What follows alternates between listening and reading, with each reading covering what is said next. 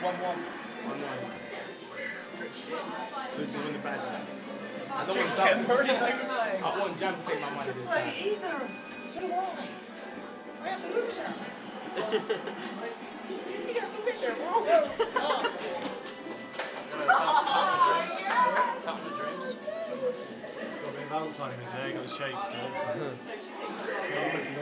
Yeah, certainly. I would take over, but I reckon my skills are holding it to until. BB, don't die.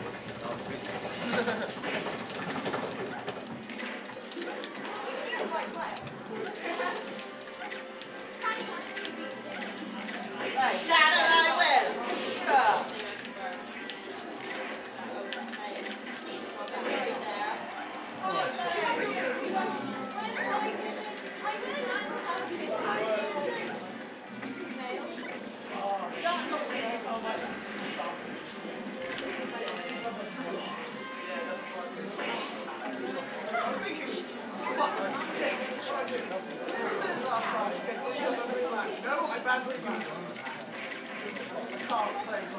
that